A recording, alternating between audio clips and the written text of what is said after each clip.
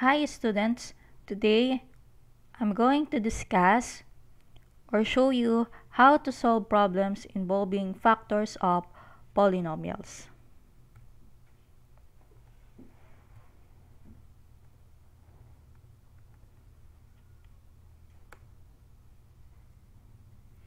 Here are some tips to come up with correct solution. Number 1. Write an equation that represents the given information. Meaning, to help you figure it out, you can draw a picture or a diagram. Number 2. Follow the rules of polynomial equation by factoring. This means that you need to place all polynomials on one side of the equation and set it equal to 0, following the zero product property. And number 3, check the reasonableness of answers. This means that you have to discard solutions that do not make sense. Say, for example, time and distance cannot be negative. Further, let us add up in our list of things to remember the following properties which will help you justify in the manipulation of your solutions. So here are the different properties of real numbers. We have the additive inverse property, the additive inverse or the opposite sign or the negative of a number a is that number is a number that when added to a yields 0 in symbols that is a plus the quantity of negative a is equal to 0. Or you can use the transposition for the shortcut. We also have the additive identity property which states that the sum of any number and 0 is the given number. So 0 is the additive identity. In symbol, a plus 0 is equal to a. We also have the multiplicative inverse property. The multiplicative inverse or the reciprocal of a number a is 1 over a that when multiplied to a, the product is 1. In symbol, a times 1 over a is equal to 1. Multiplicative identity property states that the product of any number and 1 is the given number. a times 1 is equal to a. 1 is the multiplicative identity. We also have the commutative property of addition. The order of the addends does not affect the sum. In symbol, a plus b is equal to b plus a and the distributive property of multiplication which states that when a number is multiplied by the sum of two numbers, the first number can be distributed to both of those numbers and multiplied by each of them separately. In symbol, a times the quantity of b plus c is equal to ab plus ac. Now let's have problem 1. The area of a square is numerically equal to 50 times its perimeter. Find the length of a side of the square. So for our solution, we have step 1. Choose a variable to represent what is unknown. In this problem, let S be the length of the side of a square. Then for step 2, we're now going to translate what you are seeing in words into mathematical expression.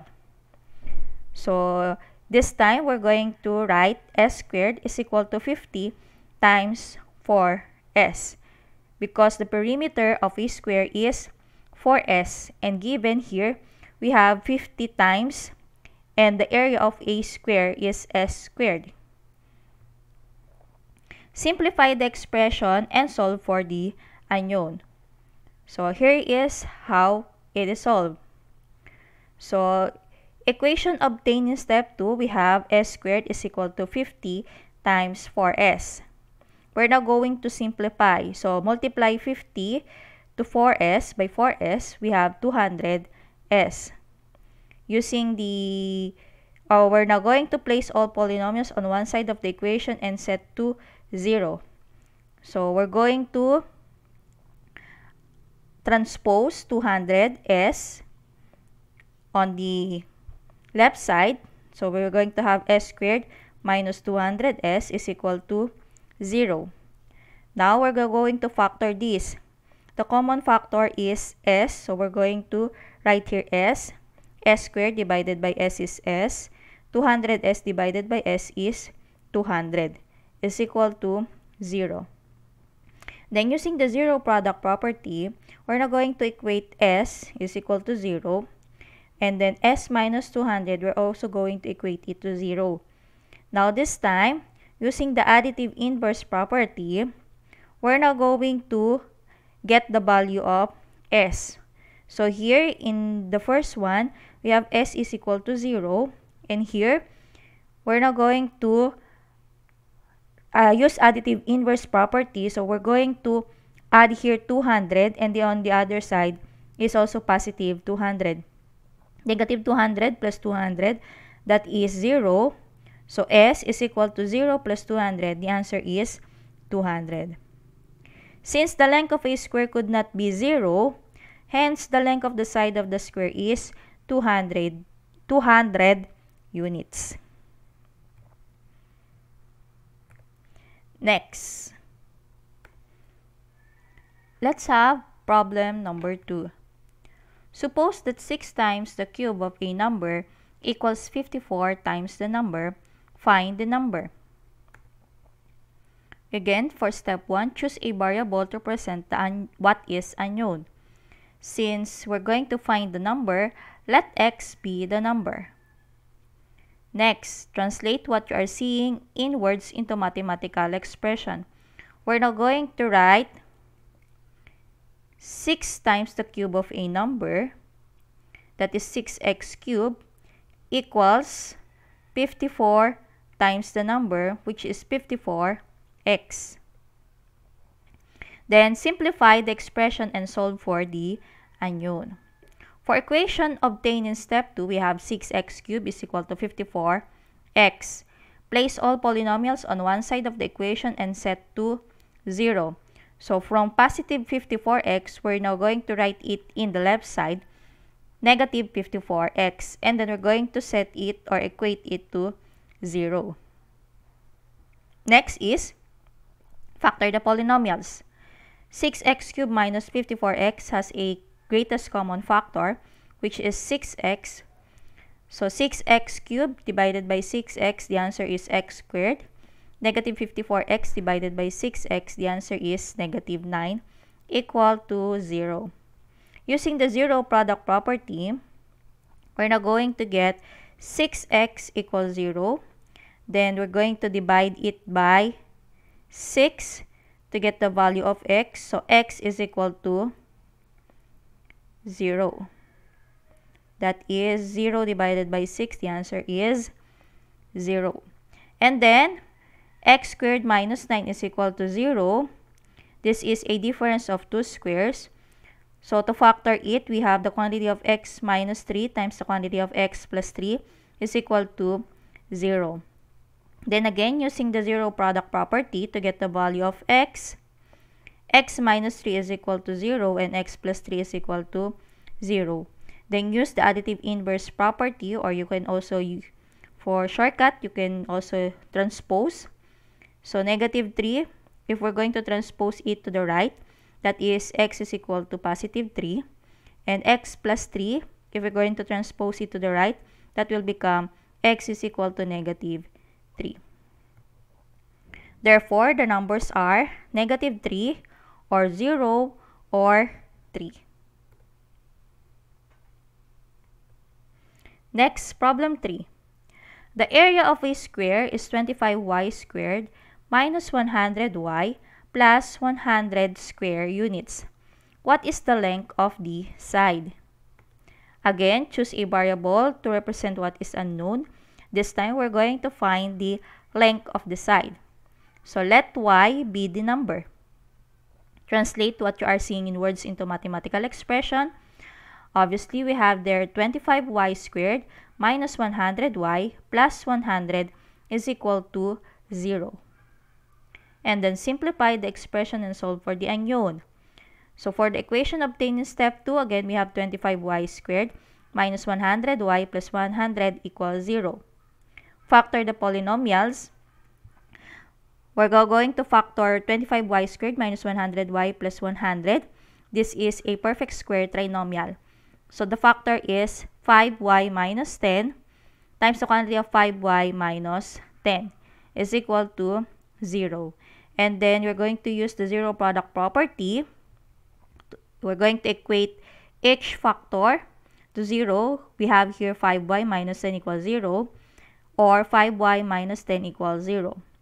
And then using the additive inverse property or the transposition. So we're going to transpose negative 10 to the right. That is 5y equals 10. And then 5y minus 10, minus 10 again, transpose, that will be positive 10.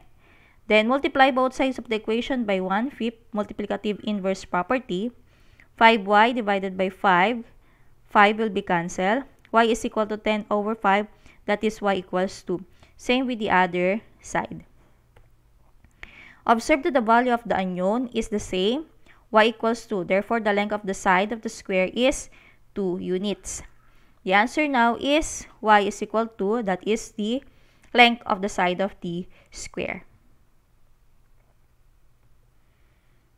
Problem 4. The square of a number is 20 more than 8 times the number. Find the number. Choose a variable to represent the unknown. Again, we're now looking for a number. Let z be the number. Translate what you are seeing in words into mathematical expression. The square of a number is 20. That will be square of a number, that is z squared, is 20 more than 8 times the number. 8z plus 20.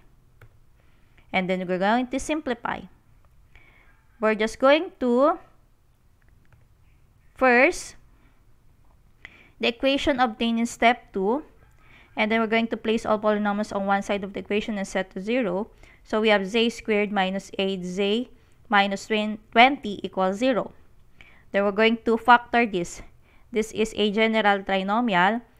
So two numbers that when multiply is negative 20 and when added is negative 8 is negative 10 and positive 2. So the factors of z squared minus 8z minus 20 is the quantity of z minus 10 times the quantity of z plus 2 is equal to 0. Then using the zero product property, we're going to equate each factor to 0. We have z minus 10 equals 0 or z plus 2 equals 0. Then using the additive inverse property or the transposition for shortcut, negative 10, we're going to transpose where that is positive 10. And then positive 2, we're going to transpose that is negative 2. Since there are two values of the unknown, then the numbers are negative 2 or 10.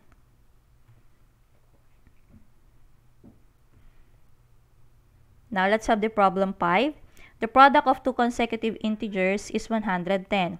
Find the value of the integers. Step 1 again, choose a variable to represent what is unknown. We're now going to find the value of integer. So let x be the first integer and x plus 1 be the second integer since the two numbers are consecutive. Then we're now going to translate. That is, the product of two consecutive integer is 110. That is x times the quantity of x plus 1 is equal to 110. And then we're going to simplify. Okay, using the additive inverse property, we have here x squared plus x minus 110. We're now going, uh, we, we first distribute x to x squared plus 1. So x times x is that is x squared. And then x plus 1 is x times 1 is x. And then using the additive inverse, we have here 110. So from positive, it is now negative 110. Next, we have now x squared plus x minus 110 is equal to 0. We're now going to factor. This is a general trinomial. a is equal to 1. The two numbers that when we multiply is 100, negative 110, and when added is positive 1, is 11 and negative 10. Now, the factor of x squared plus x minus 110 is the quantity of x plus 11 times the quantity of x minus 10 equals 0. Using the zero product property, we're now going to equate it to 0. we have here x plus 11 minus 11 equals 0 or 0 minus 11 or x minus 10 plus 10 is equal to 0 plus 10. That is the additive inverse property. Er, or that is the transposition. So x plus 11 will now become x is equals to negative 11 and then x minus 10 that will become x is equals to 10. Since there are two values of x, then there could be two pairs of consecutive integers. That is, if the first integer is x equals negative 11, then the second integer x plus 1 equals negative 11 plus 1 equals negative 10. The first pair, the first pair of consecutive integers are negative 11 and negative 10. And if the first integer is x equals 10, then the second integer x plus 1 is equal to 10 plus 1 equals 11. The second pair of consecutive integers are 10 and 11. Okay, that's it. Remember, a problem is a chance for you to do your best. From Duke Ellington. Thank you and I hope you learned something today. God bless and take care.